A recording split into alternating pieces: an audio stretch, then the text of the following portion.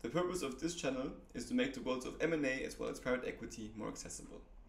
Let's start today by getting a general understanding of the current market consensus. As we all know, interest rates are going up, inflation is going up as well, which makes everything more expensive. Important for us, it also makes borrowing money more expensive. If that is the case, deal flow is going to be going down. So according to PitchBook, global M&A activity has fallen by 29.8% in deal value from the peak seen in Q4 2021. Even though this is a massive drop, some M&A activity has still been happening.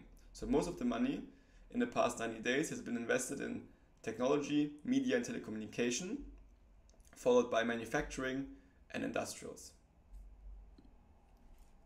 While these were quite broad statements about the market, I thought it would be interesting to go through one or two deals per week in detail. The transaction I chose today is the acquisition of Abiomed by Johnson & Johnson. So let's first look at the company profiles.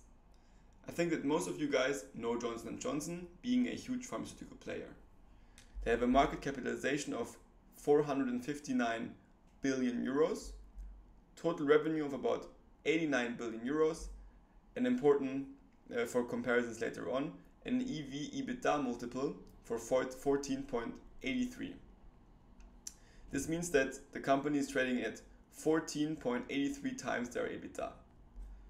Looking at the second company, Abiomed, this company is a bit smaller, so their market cap is 17.3 billion euros, total revenue of about 1 billion, and a EV EBITDA multiple of 55, which is nearly three times as high as the EV EBITDA multiple of Johnson & Johnson. So what is Abiomed actually doing? They're a medtech company that gets most of their revenue stream by selling a product called an Impella heart pump. So they're um, uh, they're um, they're working in the cardiovascular field. So let's try to understand the rationale behind this acquisition. So Johnson & Johnson states that this transaction broadens J&J's position as a growing cardiovascular innovator. Second statement is from their CEO, which who says that the addition of Abiomed is an important step in the execution of our strategic priorities and our vision for the new J&J focused on pharmaceuticals and medtech. So clearly this is a strategic move by the company. So let's now have a look at the key data of this transaction. So Johnson & Johnson is willing to pay 16.6 billion including debt but stripping away cash for Abiomed. This translates into about 380 euros per share outstanding.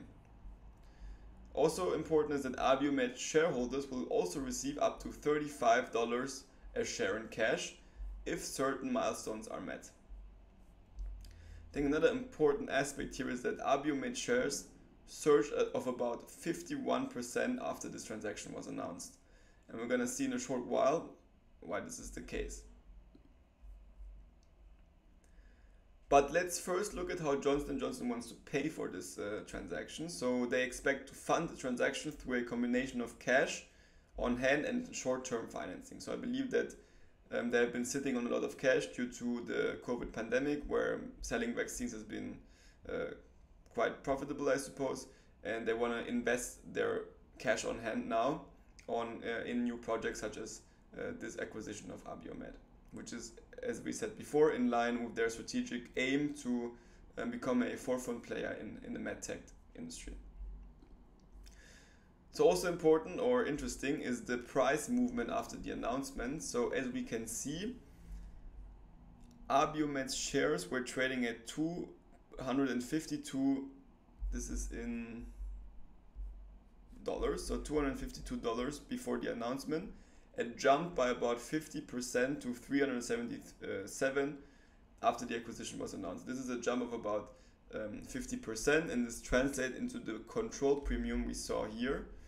Um, 51% as we saw here. So this is the control premium that um, Johnson & Johnson paid for Abiomed, which is in my opinion quite high. So let's have a look at um, what the market thinks about this and we can see what the market thinks about this by looking at the share price of Johnson and Johnson. Um, before the acquisition was announced, the share price was at about 174 and went down up until 170 and is currently require, uh, um, recovering a little bit to 171. So the drop is at about 2.5%, I would say. So the market, even though, so it's normal that after an acquisition, the uh, share price of the acquiring company is going down by a little bit, but I would say it didn't go down by too much. So the market believes that this is a good acquisition um, and or won't affect um, Johnson Johnson's revenue stream and or balance sheets badly.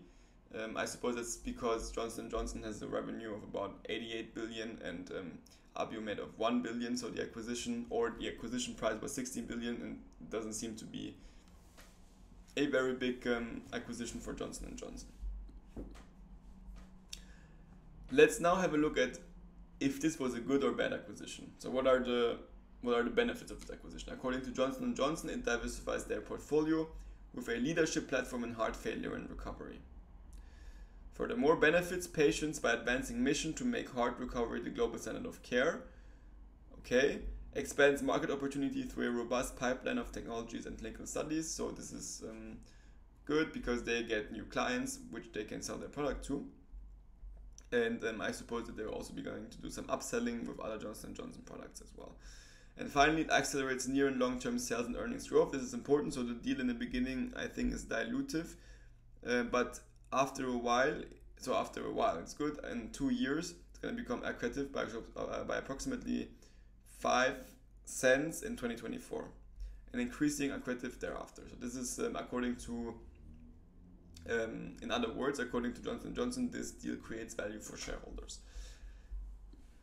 Now let's have a look at the opinion article of the Financial Times that is about this deal. So the author says that the 51% premium for Abiomed's closing price on Monday um, is believed to be quite high um, because that still puts the company on an EV EBITDA multiple over 58. This is rich given J&J's comments that any potential cost savings would be very modest.